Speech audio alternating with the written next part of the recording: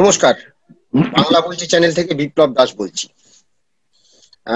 সম্প্রতি একটি খবর অনেকেই পেয়ে থাকবেন সোশ্যাল মিডিয়া বা ন্যাশনাল মিডিয়াতে, যে ইন্ডিয়া টুডে একটা কনক্লেভ করেছে। সেখানে এই পশ্চিমবঙ্গের মুখ্যমন্ত্রী মমতা বন্দ্যোপাধ্যায় প্রায় এক ঘণ্টা তার মুখোমুখি সাক্ষাৎকার এবং নানা বিষয়ে রাজ্যের ভোটের নানা বিষয় কেন্দ্র নিয়ে কথা বলেছেন।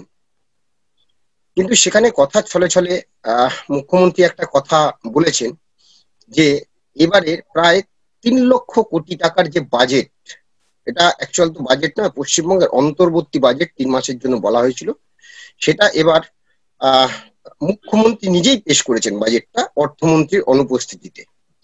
তো সেই বাজেটটা নাকি তিনি ট্রেডমিলে ট্রেডমিল করতে করতেই বাজেটটা বানিয়ে ফেলেছেন।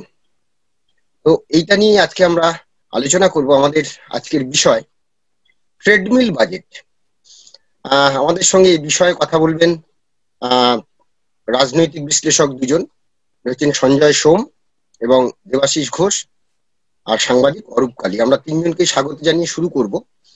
তার আগে আমরা একটু শুনে নেব ওই ভিডিওটি যেখানে মুখ্যমন্ত্রী কি বলেছেন সাক্ষাৎকারে সেটি। ट्रेडमिल में काम भी करते हैं। ट्रेडमिल में मेरे को पेपर भी पढ़ लेता है, उधर में फ़ोन भी बात कर लेता है मैसेज भी कर लेता है। कोई सोचना है तो सोच भी लेता है, कुछ पढ़ने का बात है तो पढ़ने का बात भी कर लिया हम बजट बनाया वो ट्रेडमिल में बैठ पे बैठ के। ट्रेडमिल में मैंने वॉकिंग करते करते। आइडिया आता है। लेकिन हम बारह किलोमीटर ट्रेडमिल करता है बाद बाकी दस किलोमीटर, दस बारह किलोमीटर हम वॉकिंग करते हैं। दैट इज़ दैट इज़ ये ये थोड़ा सा डिटेल से बताओ, आपने ट्रेडमिल पे बजट कैसे बनाया? हम अगर पूरा सब आपको बोल देंगे तो आप तो पूछेगा नहीं मेरे को कुछ आइडिया आता है idea it's a vision if there is action there is reaction हम जब चलते हैं ना चलते चलते हमारा ब्रेन भी चलते हैं হ্যাঁ আমরা শুনলাম যে মুখ্যমন্ত্রী দশ বারো কিলোমিটার হাঁটেন প্রত্যেক দিন খবরের কাগজ পড়েন তাতে সমস্ত খবর যায় মেসেজ করেন ফোনে কথা বলেন আর সেটা করতে করতে তিনি ট্রেডমিলে বাজেটটাও করে ফেলেছেন সঞ্জয় দা কি বলবেন বাজেটটা নিয়ে? মুখ্যমন্ত্রী ছেষট্টি বছর বয়স এবং তাতে উনি দশ কিলোমিটার ট্রেডমিলে প্লাস দশ বারো কিলোমিটার এমনি হাঁটেন। মানে বলতে হবে কুর্নিশ। এটা কুর্নিশ করা ছাড়া কোনো উপায় মানে এই বয়সে বারো বাইশ কিলোমিটার কুড়ি বাইশ কিলোমিটার হাঁটা এবং ওনাকে দেখলেই মনে হয় খুব ফিট উনি যখন তত্তর করে হাঁটেন ওনার পেছনে লোকে মানে দৌড়ে ভার্চুয়াল এটা একটা কর্নিশ করার মতো বস্তু, কোনো সন্দেহ নেই। কিন্তু আমিও অল্প স্বল্প ট্রেডমিল করি আর কি। মানে ধাক্কা দিয়ে জিমে পাঠানো হয় মাঝে মাঝে বাড়ি থেকে। তো আমার তো একটুখানি মনোসংযোগ বিঘ্নিত হয়ে গেলেই হুমড়ে পড়ে, হুমড়ি খেয়ে পড়ে যাওয়ার মতো অবস্থা হয়। তো সেখানে উনি খবরের কাগজে পড়েন এবং সবকিছু করেন, এটা খুব মানে মানে কর্নিশটা দুগুণ হয়ে গেল আর কি। এর বিষয়ে আর এর বেশি কিছু বলতে পারছি না। এবারে বাজেটের প্রশ্ন যেটা, সেটা হচ্ছে এবারে আমরা দেখলাম যে অমিত মিত্র খুব সম্ভবত অসুস্থতার কারণে বাজেট পেশ করতে পারেননি, ফলে মুখ্যমন্ত্রী বাজেট পেশ করলেন এবং তার জন্য উনি রাজ্যপালের অনুমতি নিয়েছিলেন, রাজ্যপাল স্বাভাবিকভাবেই সে অনুমতি দিয়েছেন সুতরাং অমিত মিত্র অসুস্থ এটাই আমরা জানতাম, কিন্তু মুখ্যমন্ত্রী যে বাজেট বানালেন, সেটি উনি নিজের মুখে স্বীকার করে নিলেন, সেটা আমরা জানতাম। এটা একটা আমাদের কাছে বেশ বড় রিভিলেশন অর্থাৎ অমিত মিত্রকে মুহূর্তে আর অর্থমন্ত্রী হিসেবে পশ্চিমবঙ্গ সরকারের বোধহয় খুব একটা প্রয়োজন নেই। এটা প্রথম কথা। দ্বিতীয় কথা হচ্ছে, এবারের সত্যি কথা বলতে তো বাজেট পেশ করার কোনো জায়গা ছিল না। এটা ভোট অন অ্যাকাউন্টস কারণ এটি একটি বিদায়ী সরকার। এবং বিদায়ী সরকার সাতাশে মে অবধি তার কর্মসীমা। সুতরাং এইখান থেকে মানে অর্থাৎ এই ফেব্রুয়ারি মাস মানে এপ্রিল এবং মে, এই দু মাস, পয়লা এপ্রিল এবং মে যতদিন নতুন সরকার গড়ছে এই কয়েক মাসের যেটুকু আয় ব্যয়, অর্থাৎ কি খরচা কি হবে, এইটুকুই খালি ভোট অ্যাকাউন্টসে থাকার কথা।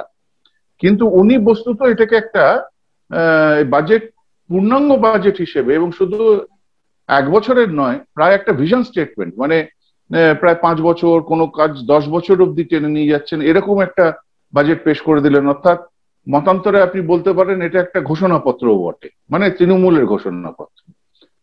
সুতরাং সেই দিক দিয়ে যদি দেখেন, তাহলে টিএমসি সুপ্রিমো হিসেবে উনি ওনার ঘোষণাপত্র ডিজাইন করছেন, তাতে তো চমকিত হবার কিছু নেই। এটা বাজেট নয়, সেটাই বারে বারে বোঝা গেল, অর্থাৎ এটা অর্থমন্ত্রীর দ্বারা তৈরি নয়, এটা পুরোপুরি মুখ্যমন্ত্রীর মস্তিষ্ক প্রসূত, এবং এটা রাজ্যের বাজেটের থেকে অনেক বেশি তৃণমূলের ঘোষণাপত্র। অরূপ দা, কি বলবে এটা? দেখো মুখ্যমন্ত্রী হাঁটেন, তো খুবই ভালো এক্সারসাইজের পক্ষে তো খুবই ভালো। আমি ট্রেডমিলে হাঁটি না সকালবেলায় তো অল্প অল্প হাঁটি, একটু যোগ অভ্যাস করি। সবাই এরকম করে আর কি, বড় কিছু না। কিন্তু এবারের বাজেটে আমি যেটা দেখতে পারলাম, সেটা হচ্ছে অনেক পরিকল্পনা যেগুলো নেওয়া হয়েছে, রাস্তাঘাটে। রাস্তাঘাট জোড়া হয়েছে রাস্তাঘাট সম্প্রসারণের কাজ হচ্ছে। আমি জানি না উনি যেহেতু ট্রেডমিলে হেঁটেছেন, হাঁটার পরে হয়তো উনি এটা বার করতে পেরেছেন। যত হেঁটেছেন, আর কি এই এই পরিকল্পনাগুলো হয়তো মাথায় এসেছে তার সঙ্গে সঙ্গে। যে উনি যতটা হাঁটছেন, রাস্তাগুলো জুড়ছে একটা একটার সঙ্গে একটার সঙ্গে আরেকটা কানেক্ট হচ্ছে। আমি মনে হয় সেটা। তো উনি সবসময় যেটা বলেন, সেটা হচ্ছে বিপ্লব সাংবাদিকতার সূত্রে আমি আগেও দেখেছি। খুব চটজলদি ডিসিশন নেন।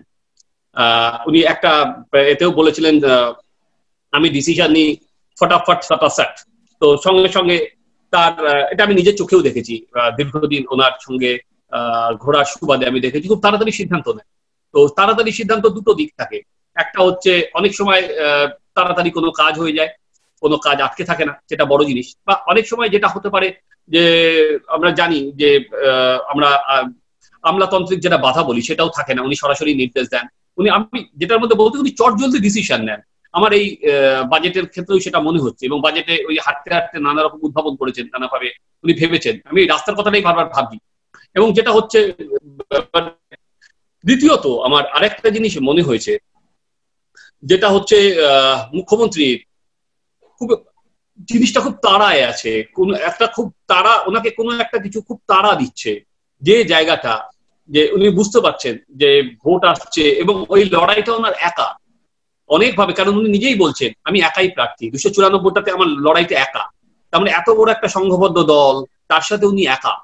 তো আমার যেটা মনে হয়, যে এই হাঁটা, এই চলা, এইগুলো ওনার এনার্জি আহ, ওনার মধ্যে পাম্প করে, যেটা এনার্জিটা বাড়ায়, সেটা এতটা সারা দিনের মধ্যে থাকেন এবং স্বাভাবিকভাবে এই রাজনীতিতে প্রচুর টেনশন থাকে। তো সবারই থাকে এবং ওই লেভেলে পলিটিক্সে তো থাকবেই। সেটা ওনার টেনশনও রিলিজ করে। তো সেই জায়গায় উনি হাঁটেন, বহুদিন ধরেই হাঁটেন এবং আমাদের যারা সাংবাদিকরা ওনার সঙ্গে আর কি ঘুরেছি, গেছি। তাদেরও উনি এই হাঁটার পরামর্শই দেন যে হাঁট, হাঁটলে টেনশন রিলিজ হয়, সেটা একদিকে সত্যিই ভালো। আমার সেই জায়গায় আর সঞ্জয় দা যেটা বলল যে উনি নিজেই বলেছেন বাজেট করেছেন। বাজেট যখন করেছেন, তাহলে নিশ্চয়ই পরবর্তীকালে অন্যরা প্রশ্ন করবেন, তাহলে অমিত মিত্রর রোল কি ছিল? তাহলে অমিত মিত্র যদি কিছুই না করেন, তাহলে ওনার কি রোল অর্থনীতি হিসেবে কি রোল তা আমার এইটার থেকে যেটা মনে হয়েছে, উনি যে তারা করতে চাইছেন ভোট এসে যাচ্ছে এবং উনি চটজলদি সিদ্ধান্ত নিতে চাচ্ছেন, এটার মাধ্যমে আমার মনে অনেকটা সেটাই উঠে এসেছে বিপ্লব। হ্যাঁ দেবাশিস দা ট্রেডমিল বাজেট কি বলবেন? হ্যাঁ মানে মিডিয়া কিন্তু দারুণ দারুণ টপিক নিয়ে আসো তোমরা। এ তো অলরেডি সঞ্জয় দা আর অরূপবাবু দুজনেই বলেছেন। মানে শরীর চর্চা খুব ভালো মানে ট্রেডমিলে হাঁটলে শরীর ভালো হয়। আমি তো শুনেছি ট্রেডমিলে হাঁটলে বোধ হয় সঞ্জয় দা তো করেন, সঞ্জয় দা বলতে পারবেন স্ট্রেস রিলিভ হয়। এখন তো মুখ্যমন্ত্রী হয়তো অনেকভাবে একটু স্ট্রেস উনি। আর এখন তো এটা একটা বেশ এ রয়েছে মানে কেউ কেউ তো যোগও করছেন, ছাপ্পান্ন ইঞ্চি ছাতি বানাচ্ছেন, কেউ ট্রেডমিলে হাঁটছেন, ভালো, এই আধুনিক এগুলো, এগুলোতে কিন্তু বামপন্থীরা অনেক পিছিয়ে আছে এগুলো করতে হবে, নাহলে মানুষের আকর্ষণ পাওয়া যাবে না। এগুলো তো ব্র্যান্ডিং একটা। কিন্তু যাই হোক মুখ্যমন্ত্রী ট্রেডমিলে হাঁটলে মুখ্যমন্ত্রী হয়তো শারীরিক সুস্থতা আসবে, সেটা আসুক, কিন্তু বাংলার অর্থনীতি কি ট্রেডমিলে হেঁটে ফিট হয়ে যাবে? এরকম বোধ নয়। হ্যাঁ আর আমি ঠিক জানি না এটা সঞ্জয় দার আরও ভালো বলবেন। এখন তো এটা পূর্ণাঙ্গ বাজেটের সময় নয় বা এটা তো বোধহয় ভোট অন অ্যাকাউন্ট বলে এটা। কিন্তু একটা জিনিস যদি আপনারা খেয়াল করেন যে ইকোনমিক রিভিউ একটা বাজেট তৈরি হওয়ার আগে একটা ইকোনমিক রিভিউ বলে একটা বস্তু হয়। সেই ইকোনমিক রিভিউ কিন্তু বহুকাল বহু সময় ধরে দেওয়া হচ্ছে না। মানে অর্থমন্ত্রী আমাদের যিনি অমিত মিত্র উনি তো অর্থনীতির পণ্ডিত মানে উনি তো নিশ্চয়ই এটা জানেন যে ইকোনমিক রিভিউটা আসছে না কেন? ইকোনমিক ইকোনমিক রিভিউ আসলে কি? এই মানে বাংলার অর্থনীতির দৈন্য প্রকাশ পাবে? মানে আমি জানি না। তো আরেকটা জিনিস দেখতে হবে, আমি ইংরেজিতে একটা শব্দ আছে মানে ফার্স অ্যান্ড ফলসিফিকেশন আমি এটাকে বলতে পারি। এটা তো অনেকটা এরকম হয়ে যাচ্ছে। ধরুন, আমি একটা উদাহরণ দিচ্ছি যে, এই যে স্বাস্থ্য সাথী প্রকল্প, এই স্বাস্থ্যসাথী প্রকল্পের জন্য সবাই প্রচণ্ড উত্তেজিত হয়ে কার্ড বানাতে শুরু করছে। কি না, সরকার পাঁচ লাখ টাকা অবধি দেবে, কারও যদি অসুবিধা হয়। যদি ধরে নিই, বাংলার জনসংখ্যা দশ কোটি, আমি ধরে নিচ্ছি সেই দশ কোটি লোকের মধ্যে এক কোটি লোককে পাঁচ লাখ টাকা করে দিতে হবে। ধরে নিই আমি, কথার কথা। তাহলে হয় পাঁচ লক্ষ কোটি টাকা। সেখানে কিন্তু পশ্চিমবঙ্গের সারা বছরের বাজেট আড়াই লক্ষ কোটি টাকা। মানে পাঁচ লক্ষ, আড়াই লক্ষ বললাম actually two point five five lakhs মানে স্পেসিফিক্যালি আবার একইভাবে দেখুন মানে তাহলে হবে কি করে সেটা? মানে যেখানে পাঁচ লক্ষ টাকা আমার শুধু এক এক কোটি লোককে দিতে চলে যাবে, আমার বাজেট হচ্ছে আড়াই লক্ষ টাকা। আবার হেলথের যদি আপনি দেখেন হেলথের জন্য যেটা বরাদ্দ আছে সেটা হচ্ছে দশ হাজার কোটি টাকা। তাহলে দশ হাজার কোটি টাকা থেকে মানে এটা মানে আস- আসবে কি করে? মানে এটা তো একটা ফার্স অ্যান্ড ফলসিফিকেশন হয়ে যাচ্ছে। মানে এটা কিন্তু মানুষ বুঝবেন। এই দশ বছরে মানে না এসএসসি পরীক্ষা হয়েছে না কোনো ইন্ডাস্ট্রি হয়েছে অর্থনীতি তো খুব খুব, খুবই খারাপ জায়গা। মানে শিল্পকে মানে কৃষি বন্ধু হয়ে শিল্পকে তাড়িয়ে আমি সরকারে আসতে পারি, এটা আসা খুব খুব ভালো ব্যাপার। কিন্তু তারপরে সরকারে এসে তো আমি শিল্পের জন্য কিছুই করতে পারলাম না। আমার তো শিল্প হলো না, আজ অব্দি একটা কারখানা তৈরি হয়নি দশ বছর। এটা এটা কিন্তু দেখতে হয়। হ্যাঁ সঞ্জয় দা, আমরা দেখেছি যে অর্থমন্ত্রী অমিত মিত্রকে আমরা দুদিন দেখেছি, তিনি ভার্চুয়ালি এসেছেন। অনলাইনে বিভিন্ন জায়গায় বলেছেন যেদিন কেন্দ্রীয় বাজেট পেশ হয়েছিল এবং যেদিন রাজ্য বাজেট পেশ ছিল দুদিনই। তো এখন তো আমরা জানি ভার্চুয়ালি সবকিছু হচ্ছে। তো অর্থমন্ত্রী যদি সত্যি এতটা অসুস্থ হন, তো সেই ভার্চুয়াল বাজেট তো উনি করতে পারতেন। সেটা যেমন একটা দিক। আর একটা দিক হচ্ছে এই যে মুখ্যমন্ত্রীর কাছ থেকে আমরা পেলাম যেটা দেবাশিস দা বললেন, বাংলার অর্থনৈতিক ট্রেডমিলে কি ফিট হবে? হ্যাঁ মানে আহ, যদি সত্যি মানে আমাদের অর্থমন্ত্রী মাননীয় অর্থমন্ত্রী যদি অসুস্থ হয়ে থাকেন আমি তার দ্রুত সুস্থতা কামনা করি। বিজ্জন বিদর্জন মানে বিদ- বিদ্যজন মানুষ প্রাজ্ঞ মানুষ এককালে ইন্ডাস্ট্রির খুব খুব ঘনিষ্ঠ বন্ধু ছিলেন। আহ, এবং সজ্জন মানুষ সৎ মানুষ। সুতরাং ওনার আমি ওনার বিরুদ্ধে আমি কিছু বলতে চাইছি না। উনি হয়তো সত্যি সত্যি অসুস্থতার কারণে এবার হয়তো করতে পারে, অথবা করতে দেওয়া হয়নি, যে কোনো একটা কিছু হয়েছে। কিন্তু মূল কথা হচ্ছে যে পশ্চিমবঙ্গ সরকার একটা বাজেট পেশ করেছে।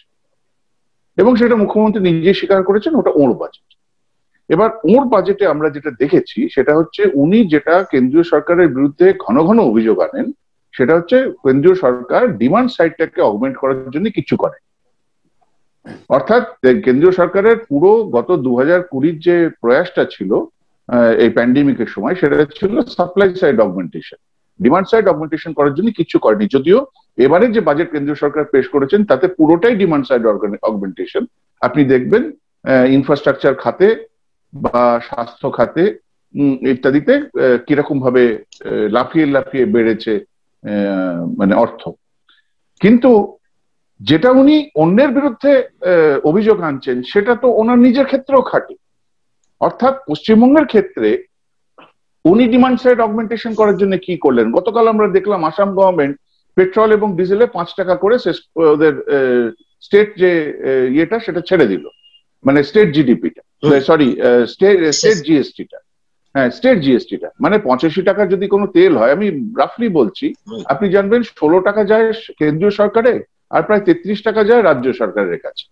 বাকিটা সব কমিশন টমিশন ইত্যাদি থাকে এবার সেই তেত্রিশ টাকা যদি কমিয়ে পাঁচ টাকা কমিয়ে দিল অবভিয়াসলি তেল তেল পাঁচ টাকা কমে যাবে সরাসরি কমে যাবে। মানে মানুষের কাছে একটু আর একটু একটু পয়সা বাঁচবে। পয়সাটা একটু বাঁচবে সেটা দিয়ে তারা আরও খরচা করে ইকোনমিটা চালাতে পারবে। আমাদের এই বাজেটে রাজ্য সরকার কি এমন স্টেপ নিয়েছেন যাতে এই ডিমান্ড সাইড অগমেন্টেশন হয়? অর্থাৎ মানুষের পকেটে খানিকটা পয়সা পৌঁছে দেওয়া যায় আমি একটা কোনো প্রকল্প দেখিনি।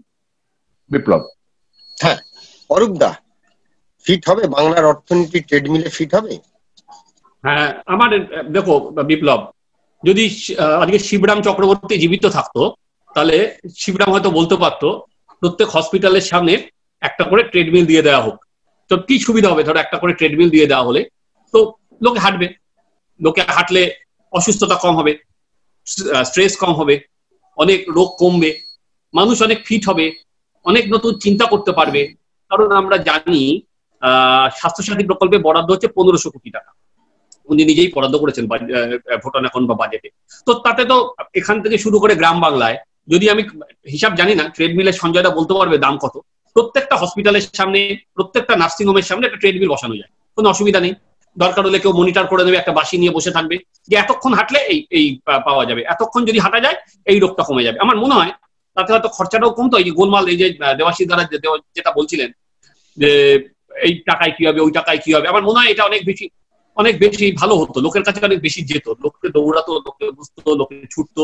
কারণ ভোট মানেই তো দৌড়ানো। তো জানি না এটা করা যেত কিনা। দ্বিতীয়ত আমার যেটা বারবার করে মনে হচ্ছে যে এই বাজেটটা করার পর অনেক বেশি আমাদের সবাইকেই দৌড়াতে হচ্ছে। বাজেটটা নিয়ে দৌড়াতে হচ্ছে। লোকের কাছে প্রচার করার জন্য দৌড়াতে হচ্ছে অনেক বেশি প্রচারের বাজেট যত না লোকের কাছে এটাকে আমি প্রচার করব, দেখো আমি এটা করব। কারণ এই টাকার সংস্থান তো নেই। সব থেকে বড় কথা হচ্ছে, টাকাটা কোথা থেকে আসবে সেটা তো জানানো জায়গা। সেটা হয়তো হিসেবে এখনও আসেনি। তাহলে আমার ওই ওই কথাটাই বারবার করে মনে হচ্ছে বিপ্লব, যে এই বাজেটটাকে করে উনি ভোটে যেতে চাইছেন। সেটা লোকের কাছে, লোকে যদি গ্রহণ করে ওনাকে নিয়ে আসেন, ব্যাস, তাহলে তো আর অসুবিধা নেই। আমার স্বাস্থ্যসাথী কার্ড চলবে, দুয়ারে সরকার চলবে, ট্রেডমিল চলবে, অসুবিধা নেই। তো এটা জনতা জনার্দন, জনতা কি নেবে তার উপর নির্ভর করছে বিপ্লব। হ্যাঁ। দেবাশিস দা, আমরা দেখেছি যে এই বাজেটে রয়েছে যে সারা কলকাতাকে নাকি ফ্লাইওভার দিয়ে মুড়িয়ে দেওয়া মুড়ে দেওয়া হবে।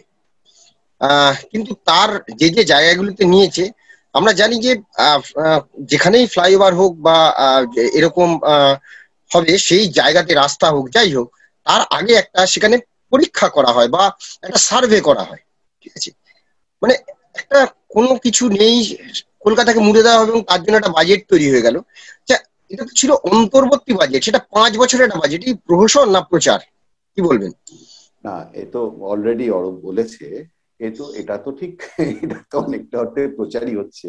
কিন্তু একটা খারাপ লাগা হচ্ছে, আমি তোমাকে এই বাজেটের ব্যাপারে আর বেশি কিছু ঢুকছি না, এই কারণে যে উনি তো বিদায়ী মানে উনি এখন তো বিদায়ী সরকার, তারপরে মানুষ ঠিক করবে, উনি আবার আসবেন না, অন্য কোনো সরকার আসবে, তো অনেক কিছু পরিবর্তন হবে। তবে তাই জন্য এইটা নিয়ে আর বেশি কিছু বলে লাভ নেই।